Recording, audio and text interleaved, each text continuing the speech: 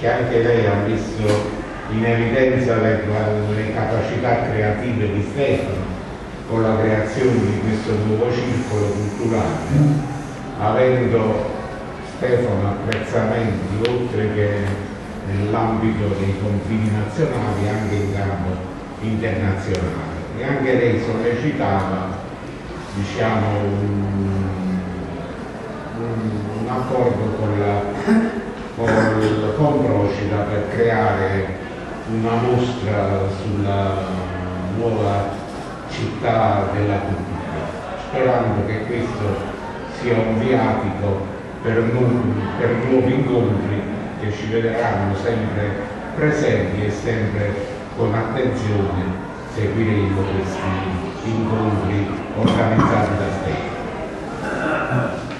Diamo ora una lettura di una breve biografia relativa all'artista partenopeo di Fedele Fischetti nacque a Napoli il 30 marzo 1732 da Francesco e Candina Severino. Nello stesso giorno venne battezzato presso la parrocchia di Sant'Anna di Palazzo con i, nomi di Francesco, Gennaro e Fedele. Apprese i primi rudimenti dell'arte in ambito solimenisco nella bottega del pittore Gennaro Borrelli, ma completò la sua formazione a Roma, dove conobbe l'opera di Pompeo Batoni, 1708-1787, e quella di Anton Raphael Menz, 1728-1779,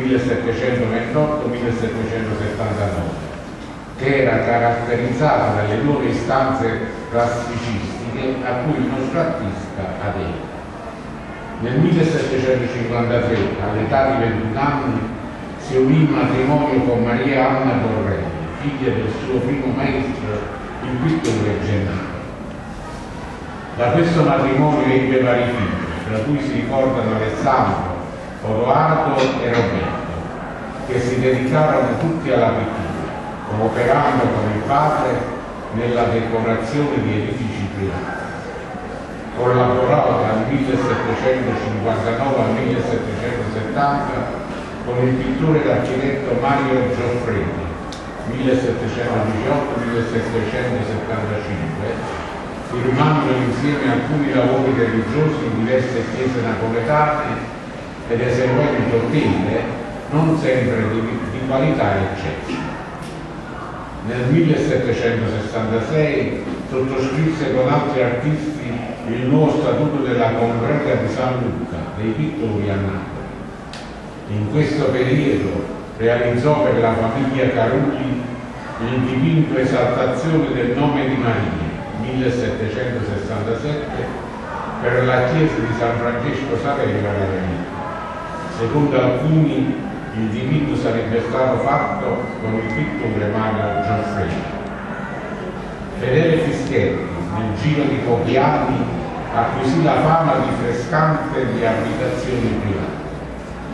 Nel 1772, in occasione del tentativo di riforma della Real Accademia del Disegno di Napoli, che fu fatto da Giuseppe Bonito 1707-1789 e da Luigi Vanvitelli 1700-1773, Fedele Fischetti fu proposto per diventare docente ma non, ottenne l'incarico.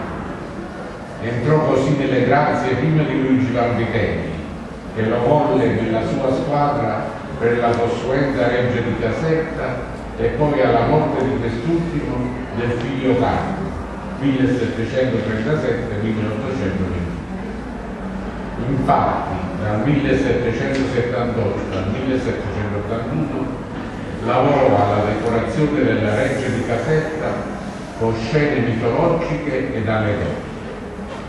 Successivamente decorò il Casino Reale di San Legge. Il nostro pittore morì all'età di 60 anni il 25 gennaio 1792 e fu sepolto nella chiesa di Monte Calvario a Napoli decorò alcune sale del Palazzo Carafa di Maddaloni, del Palazzo Caracciolo di Torella, di Palazzo Doria Dante, della villa Camproieto di Adercolano, della Reggia di Capodimonte, della Reggia di Carpitello e del Palazzo Reale di Napoli.